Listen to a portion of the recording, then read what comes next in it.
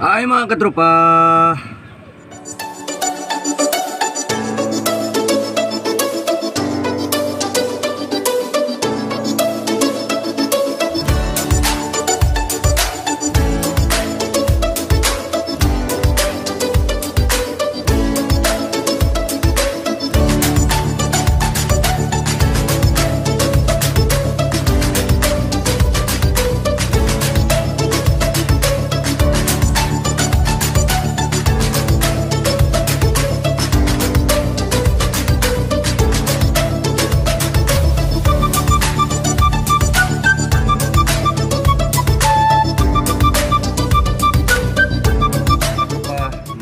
Katropa yan. May 60 pesos na akong na, ano, tatlong tao. Medyo malayo yan. Dito naman ako sa palengke mga gabang. Kanina eh, doon lang yun sa daan. Sa ah, malapit lang sa parjo namin. Yung pasayarong tatlo. the next day. Ayan na po mga katropa, dito naman tayo sa bukid. Yan, kami lang tatlo. Si nag mamasada si Leoncio. Yan. Pasok tayo sa kubo natin. Yan.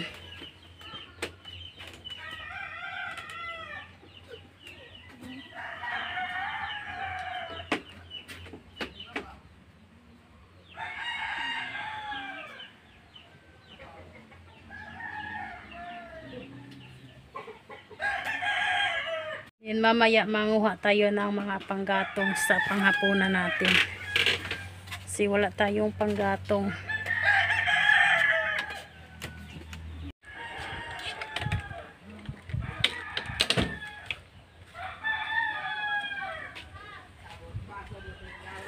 Yan, nagkain yung alaga nating manok. Yan, malaki na yung tanim natin, oh. Pero walang, ano, walang bis-bis kasi ngayon pa kami nakakarating.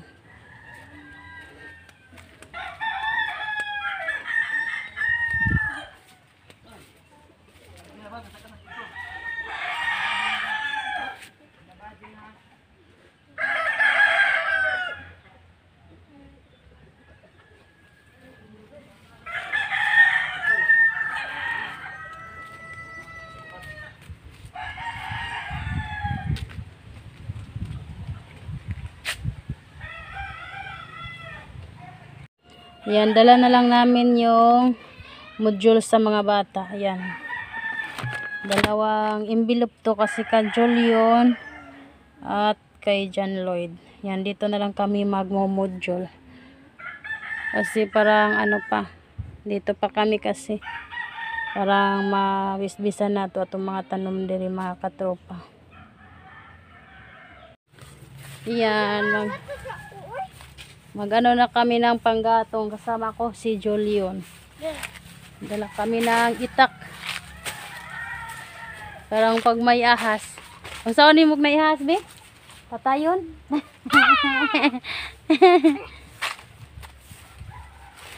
Kasi wala kaming panggatong. Dito kami matutulog kami tatlo.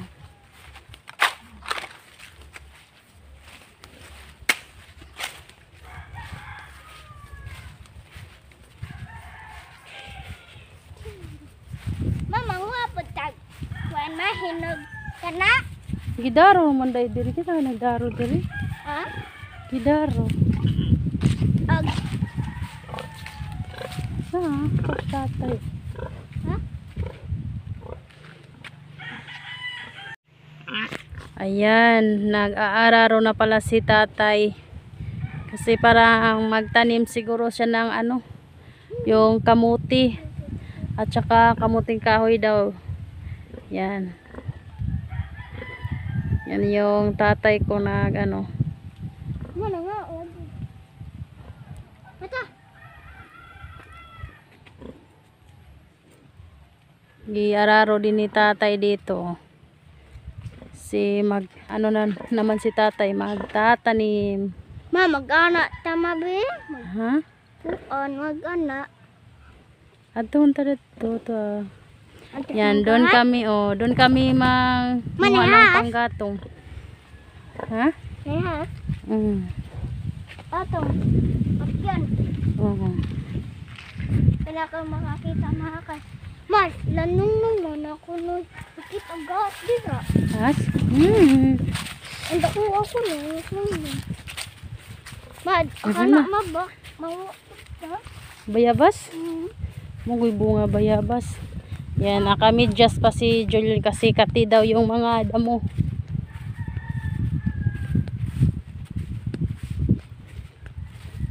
Naday bunga. Aba, Ano alim ha? wala may bunga oy. Na, nalagisidan. Aba, Ano, nagbabaw. wa oy, hilaw. Dai na. Diri na. Manag tumi. Kay Papa layo. ah. Hmm? Papa.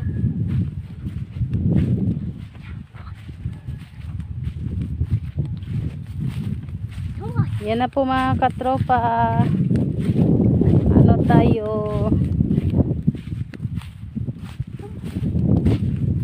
Ang lakad-lakad tayo dito kahit mainit. In Yan, yung mga palay nila ni tsa-tsahin ko. Alibi!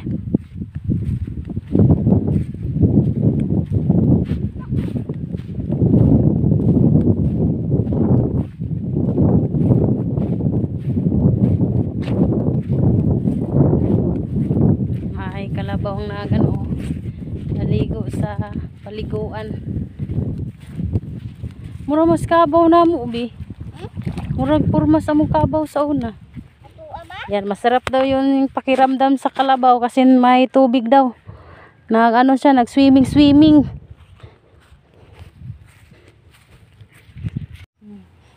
Ay nakatropa nagta. Man, sa ani pantong nga ma. Ano, ah. Ay, naman na padung ni mo. Ma, ayan nanay kabaw silong. Hmm, yan na. Sunod na, Joyce mama.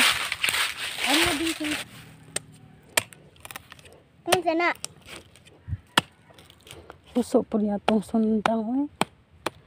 sa, Hmm. made. Ma, Taro nga gunit ay ana ba arsa ha ba kanang makita si mama. ayan na, nadara na may manggahan. Tabi, tabi. Mana lagi mangga agtas layo ama. Na? No? Layuan lagi. Layo ah. Paano ga? Bunga? Hmm. Mama. No. Matuto ko kita. Matuto ko kita ato mo. Wa may panggatong. Mama, ang lagi ko. Na, di gali bi. Kaya naman bi. Ano ah. Ay di abi. Masa? Ayan, may mangga dito oh. Bi, inano lang. Makwaan? I ano lang nila. Sin- Sinayang lang sa mga batang nanguha dito. May nanguha siguro dito kasi merong mangga. Nandog ko. Oo, anak mo. Inano, inano lang nila ng mangga. Kinuha din. Ayan, nakakita may agbatod. Ayan. Nasa tong sundang? Ma! May ang sundang ma? Ayan. Mama. Mm, Hindi siya. Hindi siya makalihok. This is mama.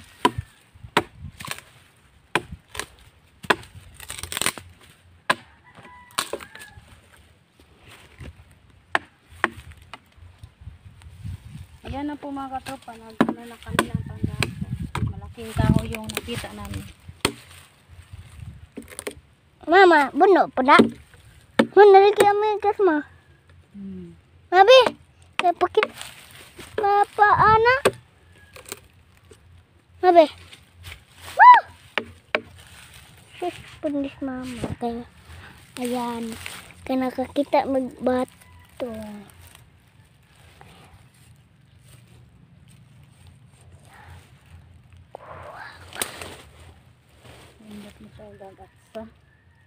Ayan, nakakita na ako. Matawa mo.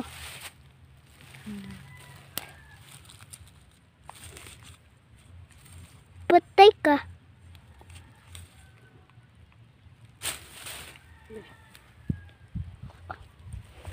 Ayan. Magwanas mama. Ayan po. Ang dako ang kahoy. May has dito kay. May has dito. Has ra dire. Oh, na na nabunga sa Tatanata ka magkwatag sako. Itong sudlan. Mangga ko to ka, mangga ka. ah Oo, magkuha. Uwi kami, ah, uwi kami muna mga katropa kasi magkuha ako ng sako at saka yung at sa yung pangbuga sa malaking kahoy. Kasi nakakita kami na malaking panggatong dito. Matagal na tumaubos sa ano natin. Sa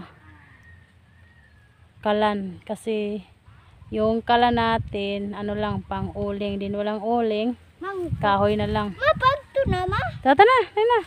Yan, balik muna. Oh, mga balik ako dito. Kuha muna ako ng sako. oh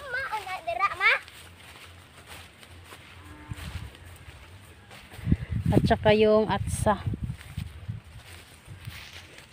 ang layo abra mo Hasa pa ha layo pa Yan, may mga pinsan kong sumama. Ano daw, manguha sila ng mangga. ah Nagdaan na sa bisikleta? Ada po mo. Oo. Mata ko niya. Brad, wala yung mga intindahan. Abutuan na lang ka, Brad. Ano, Brad? Wala. Yan, dala na natin yung mahiwagang atsa. Sa pang ano sa kahoy kasi hindi ko ma ano mabuhat mabigat kasi malaki yung kahoy na nakita kong panggatong isisibak natin din pagkatapos ilagay natin sa sako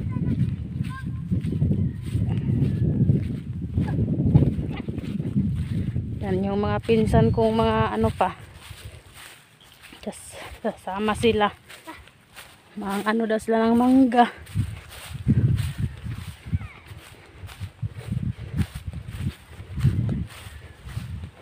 na wonder eh. wala ka pa nga mo dito mangga ka oh. Uy.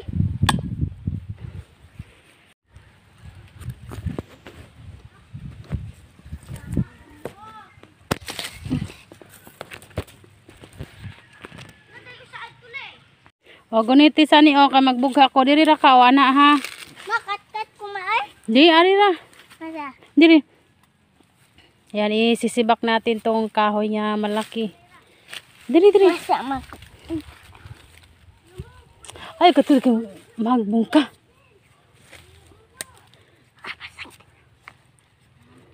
Yan umakyat daw siya sa ano kahoy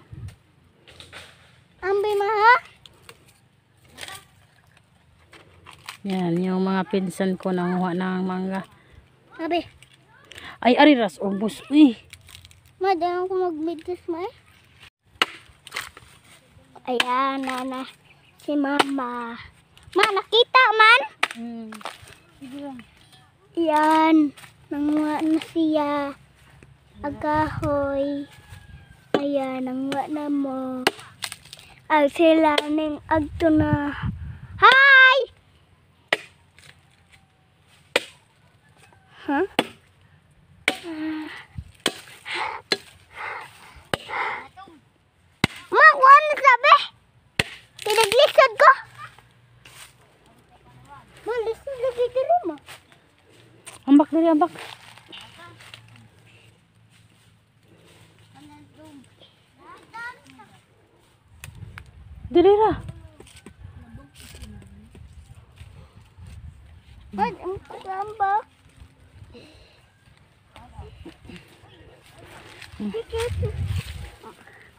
Nga na ra gunit eh. Ana sa kadiha.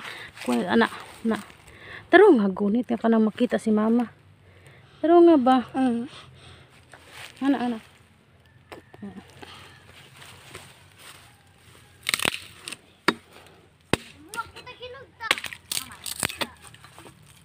Bayo nagdara ay.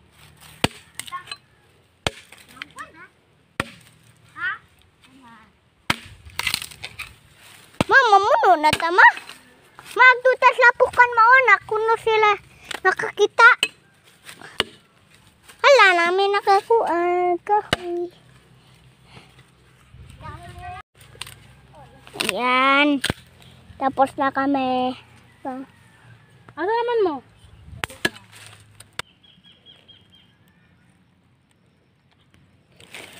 Yan na po mga katropa, magsibak tayo. Tayo sa pagsibak ng kahoy.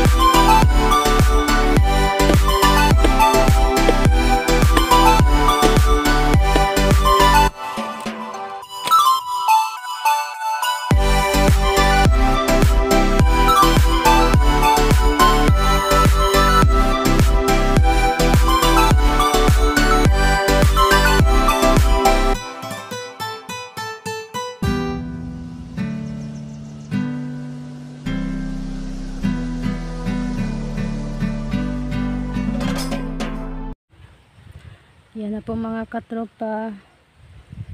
Ano na lang siguro. Tapos na akong nag, ano, nagsisibak ng kahoy.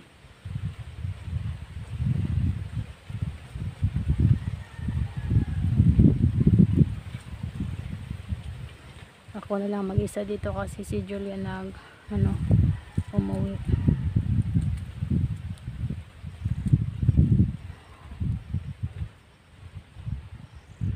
Marunong talaga ako magsisibak mga katropa kasi sanay ako sa trabaho sa bukid. Then nung dalaga pa ako ikukwento ko yung buhay ko. Yung dalaga ko pa yung 15 pa yung edad ko. Ano nas nagtrabaho na ako kasi hindi ako nakapag-aral kasi yung mga parents ko walang igagastos. Then yung 15 years old na ako nagtatrabaho na ako doon sa ano sa Cebu pa yung una kong nagtinarbahoan yung bahay. Then kasi dami kami magkakapatid mga katropa sampo kami.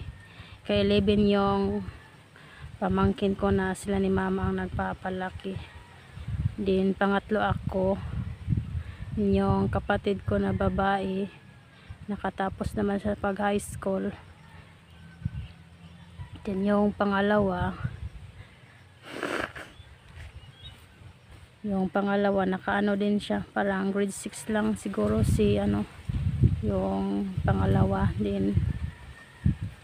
Uh, pangatlo ako hindi rin ako nakatapos kasi yung sitwasyon ko noon kung alam niyo lang parang hindi talaga maganda yung ano ko noon yung pag-aaral ko kasi mag-aaral ako mga katropa noon wala akong gamit sa eskwelahan. Din walang bag walang notebook tsaka yung bibilhin lang ni mama papel at tsaka lapis ano lang namin. Bina ano lang namin yung baka bitbitin lang yung papel at tsaka yung lapis. Then nung nagtrabaho ako sa Cebu ilang buwan din ako. Then parang iba yung ano ko iba talaga yung amo. Umuwi ako dito din pagkatapos nagtrabaho naman ako sa dito lang sa Ubay. Malapit lang sa Tapon. Din 5 years ako doon sa ano sa Sunok sa poblasyon. Nagtrabaho. Din ano lang yung trabaho ko bahay. Kasambahay lang ako din. Matagal na ako doon sa ano sa poblasyon. 5 years 5 years ako nagtrabaho doon. Din kasi yung talagang buhay natin dito yung mga parents natin walang ikakagastos kasi dami kami. Nag-suggest ako na magtrabaho na lang. Doon nagtrabaho ako nakatulong ako sa mama sa ano ko sa parents din. Yung mga kapatid ko noon nag-aaral ako. Pag mag-aaral sila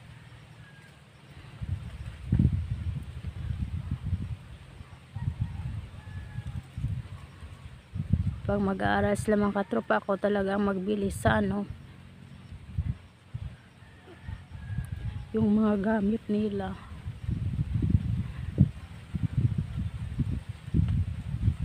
Kasi nakarana, nakaranas ako ng pag mag-aaral na walang gamit ano parang iba talaga. Din pa, nakatulong naman ako sa mama ko din pag ano 5 years ago naka ano pa ako ng ano yung ako talagang nagkuha ng binigyan ko sila ni mama ng ano yung motor din ako ang nag ano ako ang nag nag ano ako nangungutang ako ng motor para service nila ni mama noon yung nagtrabaho ako sa poblasyon din.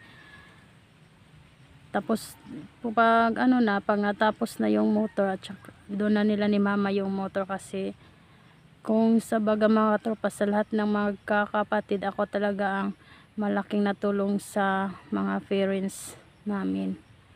Kasi nagtyaga ako na kasambahay din yung ano pala yung amo ko nung sa poblasyon ako wala silang anak. Din kami lang tatlo. Kami tatlo din nagsabi pa yung amo ko na ano daw ako ah, parang i-adapti daw ako. Din mal kasi may ano na tayo may isip. Hindi ako ano hindi ko tinatanggap yung alo nila na yung parang i-adapti daw ako. Kasi wala silang anak. Din yung babae na amo ko doon sa poblasyon ano hilongga. Din yung lalaki. Pilipino rin. Nung una kong pumasok ng makatropa ano palagi ako umiyak kasi hindi ako makaintindi sa mga salita ng amo ko na babae. Kasi hindi talaga kami sanay dito sa mga hilongga. Bisaya lang yung na ano ko na nakatunan.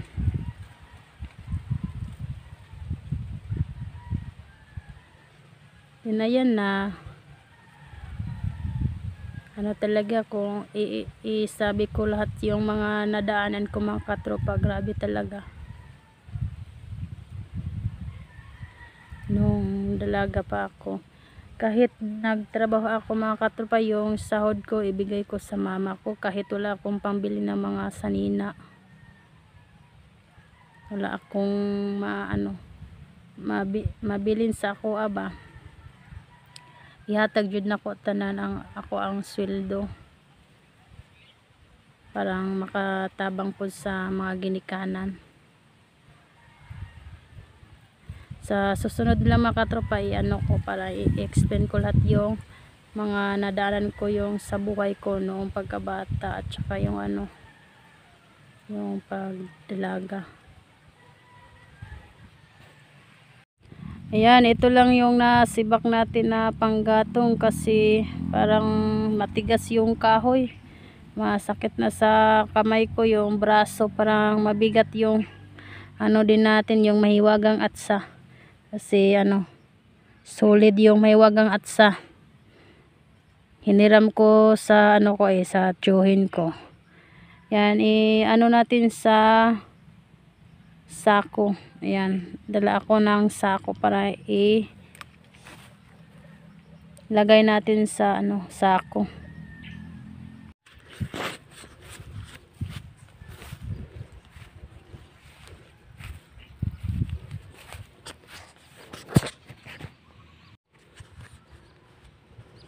Ayan na po mga katropa. Hinano ko na yung panggatong natin.